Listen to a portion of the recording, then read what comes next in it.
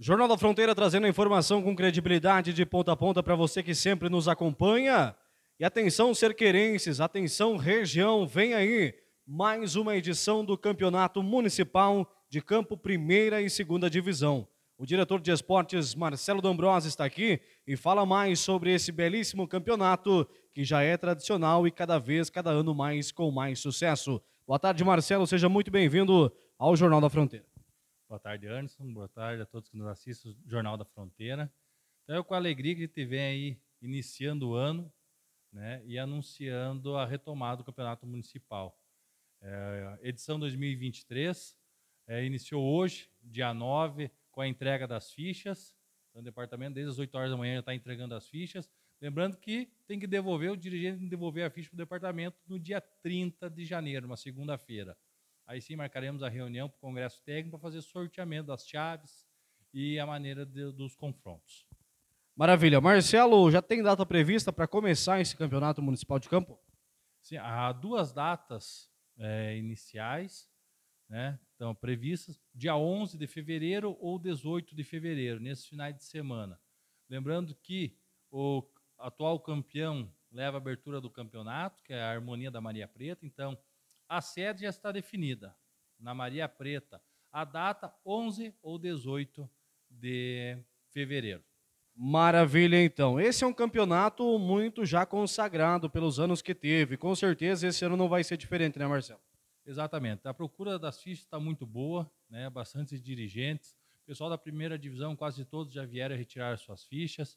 É, tem o, um que mais esse ano que as equipes campeã e vice-campeã da segunda divisão subiram, né? Então, obrigatoriamente estarão participando da primeira divisão, o que não era, que não acontecia anteriormente.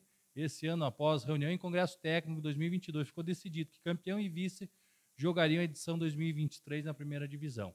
As equipes já vieram buscar, eles têm um, é, um adentro que podem jogar com um estrangeiro a mais, né? Então, campeão e vice da segunda divisão para jogar a primeira divisão pode jogar com cinco estrangeiros. Foi decidido isso ano passado em congresso, está é, registrado na ata. Então, todos os dirigentes já estão sabendo desse, né, nesse quesito. Eu acredito que vai ser um campeonato tranquilo a Prefeitura de Administração Municipal já está em processo licitatório com arbitragem, segurança, tudo para garantir, inclusive patrocínios, para garantir o campeonato, o bom andamento da competição. Marcelo, existe a previsão de, de durabilidade desse campeonato? Sim, é uma média de três a quatro meses. Né? Está previsto, então, o término final de maio, mais tardar, início de junho, está findando essa competição. Marcelo, como é que funciona a questão das inscrições do, dos times? Só times aqui de Dionísio Cerqueira ou de uma região toda? Há a possibilidade de trazer mais que um estrangeiro? Como que vai funcionar essa parte, Marcelo? Então, o campeonato municipal abrange é, todo o município, né? As comunidades cerqueirenses podem estar é, fazendo sua equipe, pessoal do bairro, centros, monta sua equipe. É, basicamente tem que ter 18 atletas da cidade, 18 atletas com título eleitoral no município de Júnior Cerqueira e quatro atletas chamados estrangeiros, que pode ser de qualquer local. Maravilha, então. Convidando toda a população cerqueirense, né, que venha, pegue a sua ficha de inscrição e participe desse belíssimo campeonato.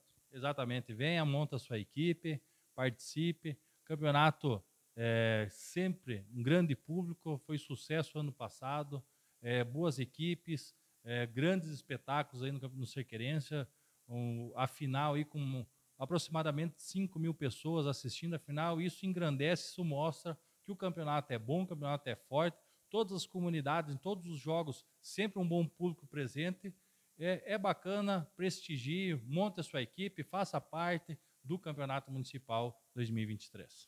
Marcelo, a questão desse campeonato vai se iniciar. Tem algum campeonato se terminando nesse ano decorrente do, dois, do 2022? Então, tem os Jogos de Verão, né, que acontecem na Praça da Lilo Quintino.